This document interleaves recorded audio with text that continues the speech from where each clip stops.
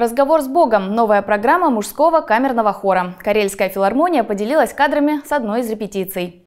На концерте, который пройдет в Кантопожском дворце искусств 19 февраля, вся программа будет звучать в сопровождении органа. Четыре произведения, написанные в разные эпохи, объединены религиозной тематикой. Исключением станет лишь сочинение Чакона, итальянского композитора 17 века Джованни Витали, которое прозвучит в исполнении хора впервые.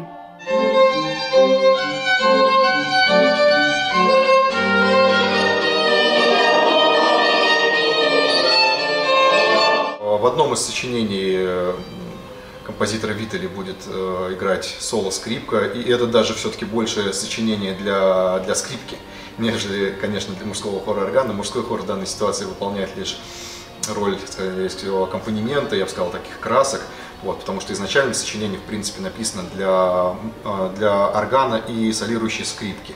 Несмотря на то, что в филармонии мужской камерный хор самый молодой коллектив, ему всего два года, за это время певцы дали уже не один десяток концертов и успели завоевать любовь зрителей. Сейчас в коллективе 16 хористов, большая часть из которых – выпускники Петрозаводской консерватории. Организаторы отмечают, что школьники и студенты смогут попасть на концерт по программе «Пушкинская карта».